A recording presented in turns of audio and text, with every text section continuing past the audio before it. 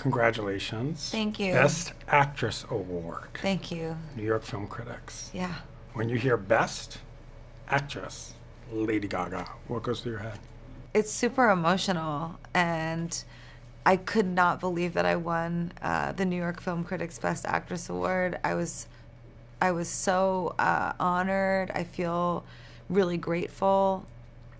I think maybe because I'm from New York and because I went to the Lee Strasberg Institute to study acting and I went to Circle in the Square, uh, the, conservatory, I, I just, I don't know that I always get to still talk about what it's like for dreams to come true. I, I'm 35 now, you know, the, and I, I still feel like my dreams are coming true. And I wish to just like say, you know, no one was listening when we were talking off camera about you know your start in entertainment but i know that you know that it, it, actually is true. If you work hard and you believe in yourself you can make anything happen. And the dreams never stop. That's that's i mean at least for me i pinch myself every day i get to do what i do. Yeah. i go on a red carpet you know you've seen me on a gazillion red carpets. I'm on a red carpet i'm pinching myself and i'm like how did i get here I deserve to be here, which is a hard thing to say to oneself. Yes. How often do you say that to to yourself? Like, I deserve this. You know, I think I always end up saying I deserve this, meaning I deserve to be here because I work really hard and I do the work and I study and I I do my homework. I am very close with my director. Uh, I'm very close with all the artists that I work with, the actors, musicians, producers. And I think that you can know that you are deserving of something when you put the time in. Uh, otherwise, I don't know that anyone deserves anything. And, you know, we, in a lot of ways, we're privileged or we're blessed to have what we have. Uh, but in the art world, you have to you have to do your work for it to, for it to be deserving and, and I truly believe that I, I, don't I don't think I could ever feel like I deserve anything that was just handed to me. Hmm. Take me back to those days studying New York. Tell me about one of your first auditions you went on that you will never forget.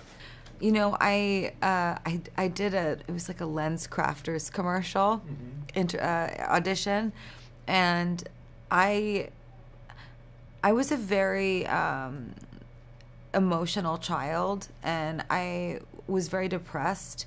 And I think that being in a room with cameras and lights like we are right now was something that was so foreign to me that even though I had studied acting, I studied, you know, in a theater.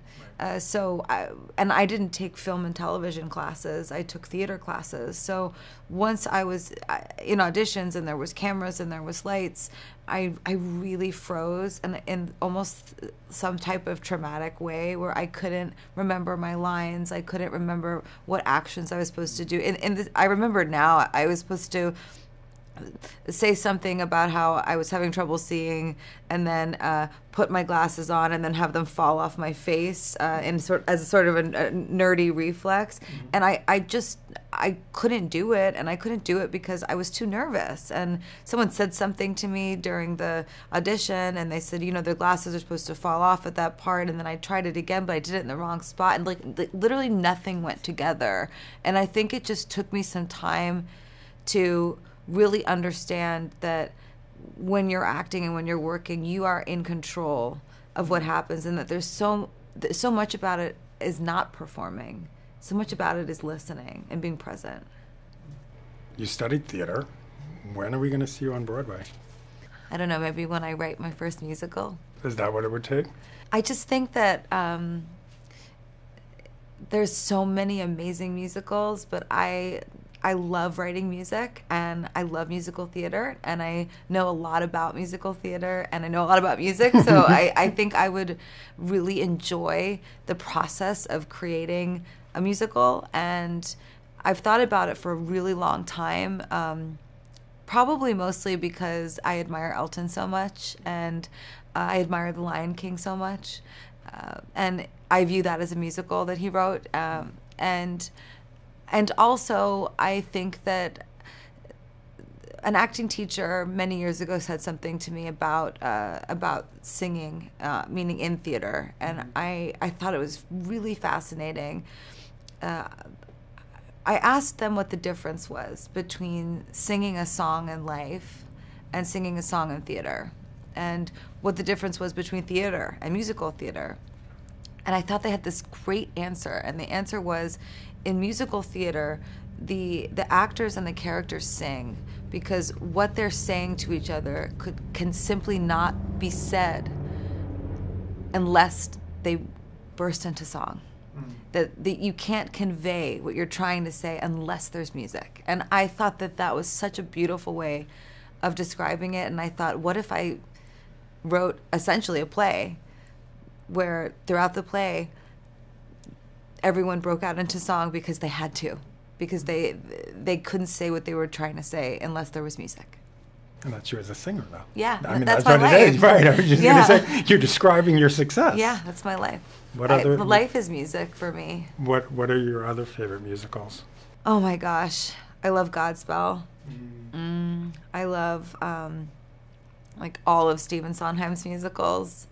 Um, I love Guys and Dolls. Uh, I love Frank Loesser's work. Um, I could go on and on. Um, I'm, listen, I'm a New York gay Jew. Yeah. I could go on and on about Broadway musicals. yeah, and I just recently saw Tick Tick Boom, uh, which you know I, I already. I, I mean, it, amazing, and it, you know I'm so excited for West Side Story. It's just so exciting. It's it's just it's it's it's it's beautiful and I, I and I have to say that I really truly feel honored to be in the company of all these great films and all these amazing actors and and and cinema and and this is this is just the beginning and I'm mm-hmm. excited to continue to do the work you know that I feel blessed that I get to So let's talk about the film.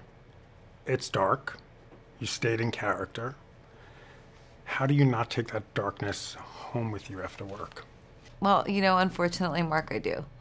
Yeah, I do. And I, I have a really hard time with that. And I've actually recently gotten to talk with some other actors that uh, don't do that. And I have gotten excited about learning how to be more nimble in that way.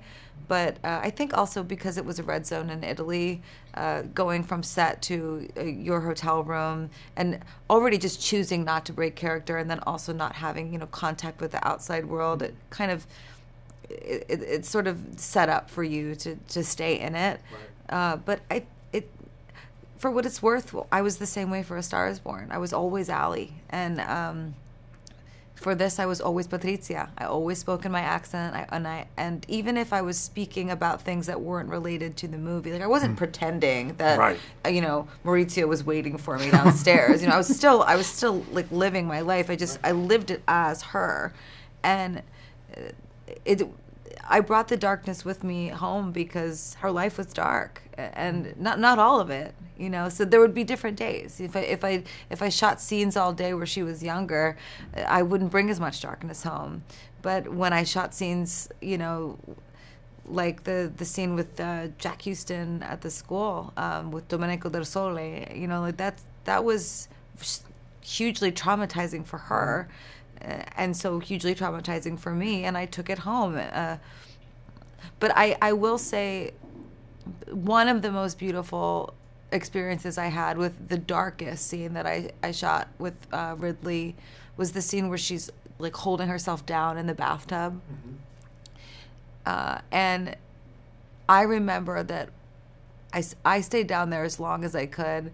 And when I came up for air, I remember thinking to myself, I want to live. And in the scene, she's asking herself, "Do like I do, if she wants to or not?" And sh and she's she's she's trying to kill herself. Mm-hmm. Um, but it's shot in this really beautiful way where you kind of don't know exactly what's happening. But i knew like my intention as the actress was for her to ask herself that question it, when she went under. But when i came up i said i want to live. So that i do so I guess there's a duality that i'm trying to express to you that there's this darkness that you might take home with you and also you might have a beautiful self-discovery on set that no matter how dark life gets you just know that you want to live life Do you call your therapist on a day after like that when you're in your hotel room going, I need to talk to someone? Because exactly what you're saying. You're in a red zone. you're, you know, not quarant. Well, you're quarantining because you're just going back to a hotel room. You're probably not surrounded by as many people as you usually are. What do you do when you're with yourself? In those moments? Uh, well, if I'm being honest, I had uh, I had a psychiatric nurse with me uh, towards the end of filming, so I, Yeah. I, I did I did call uh, uh, people that I work with um, for a period of time, and then I needed someone on set, and I'm really grateful that they were there. Who came up with that idea? I sort of felt like I had to. I, I felt that it was safer for me, and uh, and I, you know, I really wish to not glorify that in any No, way. Um, of course, yeah. And I, I don't think that like any actor should push themselves to that limit. Uh, and I ask myself all the time why I do that. Uh, I've done some pretty extreme art pieces throughout my career. Uh, I, the things I've put my body through, my mind through, and I can feel like this like it's like a walnut of sadness in my stomach as I say this to you. I don't know why I'm like that, Mark. I really I think that the best answer I could give you is that I have a sort of romantic relationship with um, suffering for your art that I developed as a young girl. And uh, it, I, it just sometimes goes too far. And when it, and when it does go too far, it, it can be hard to reel it in on your own. And I, I think it's okay to ask for help. So uh, if I'm living true to my values, I would say, yes, that's the truth of my experience. And also, if you're feeling like that, ask for help. You know, no, no matter what, whether you're on a movie set or you're in school. When you look at your project, next projects, I mean, there's been nothing announced, but do you say, you know what? I gotta be careful next time, or I don't want to do that again, or you get a performance that is so authentic and so raw. Do you feel like, you know what? I'm gonna have to go there. That that's the way. That's my art. I'm not sure yet. I mean, my goal would be able to go there and drop it faster. Um, it's not a secret that I'll do anything for art. I think I probably will completely change this when I have a child. But I don't have a child yet. Um, Why do you say that? I want to uh, be available and present for my children in a way that I think when you are acting in that way, uh, it could be problematic for for a child to be around, and so I think I'd want to really protect my. ki- I, I think I, what I guess what I'm trying to say is I I often say this to myself, and it doesn't work, but I often ask myself to protect my my inner child while I'm working, so that um, I am not harmful to myself. So I actually have to imagine that I have a child in order to consider being, being a healthier artist. Uh, but I believe it's possible, and I and I, but but yeah, I mean. One of the greatest performances I think I ever gave, most people haven't even seen, but it was in the Louvre, and it was a Robert Wilson uh, uh, work that we did together and I hung upside down for 45 minutes in bondage and we uh, it was in honor of Alexander McQueen and uh, it was done on Halloween and you know it was it- and at midnight too, and it's skull. exactly I mean, right. I like mean- I mean, it was it was it was it was serious and it was real, and I really went there. And also, I don't encourage anyone to do that. And also, that's kind of that's part of my existential crisis as an artist is that I felt compelled to do it and to walk into the Louvre and see yourself not as a painting, which is how we did the other work. Like I, I, I posed as the death of Marat for Robert Wilson, also, um, but to see yourself it's such a it's an achievement as an artist that I think that very, very few people in, their lifetime ever get to experience to be in the Louvre. And also it comes at a huge price. And, and there are some there are some things I haven't done. Uh, I have to um, uh, you know you know Klaus uh, uh, he, he's been an art curator for so many years and is a dear friend of mine. Like I remember him telling me like about some performance art piece that I wanted to do. He just said like you can't do that, and uh, it- it was in an effort to protect me and he you know was so close with Marina Abramović and you know so I think that there's a balance right? It's like I, think I'm I'm becoming more and more aware of myself but I, I do think I was able to give a really authentic performance because I committed to it and Uh, but I think commitment can come in many different forms, and I, I really wish not to glorify it because I, I wish for people to you know be safe and to care about their mental health. So when are you going to do a rom com? Are we doing one right now? um, a romantic comedy. You know what? As soon as, soon as we finished this movie, uh, my manager Bobby was like, "So, romantic comedy." Uh, you know what? For what it's worth, House of Gucci is still really funny, and so and, the, and you're pushing it. Um, but but there's there's some moments that are funny, yes. and uh, yeah, I mean, uh, funny for us, for for this crazy family. Um, uh, I'd love to do a romantic comedy. I, I just I, I want to obviously great script, great director, right. something that I believe in.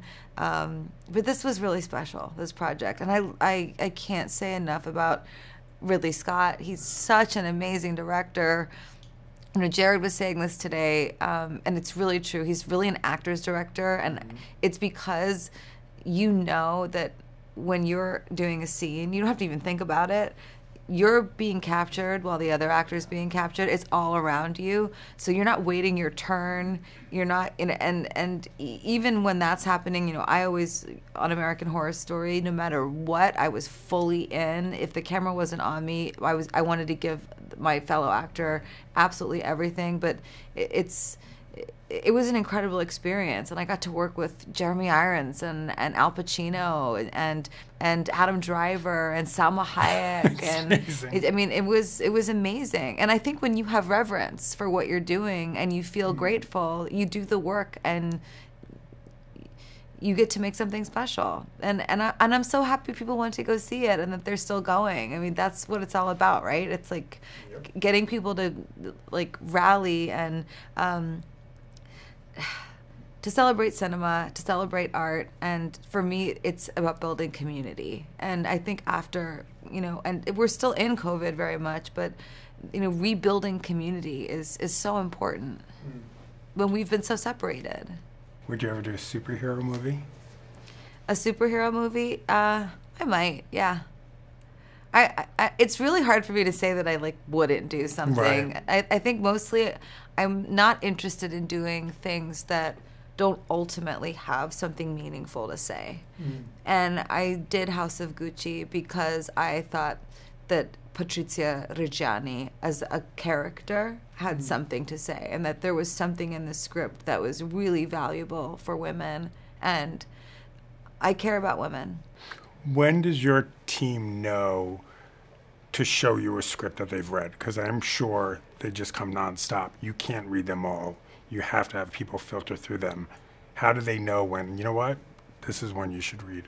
You know, I have a really strong artistic collective around me, mm-hmm. and while I have amazing, you know, agents and an amazing manager, I can also say about my amazing agents and amazing manager that they're also my friends. Mm-hmm. And so I would describe it sort of as a meeting of the minds, and mm-hmm. that there's scripts and conversations and uh, directors talking to people that I love, and then me talking to them, and it's just sort of this organic process. And then somebody eventually goes, I think you might like this one. And I go, okay. And I take it and then I read it. And then I might meet with the director and talk about it.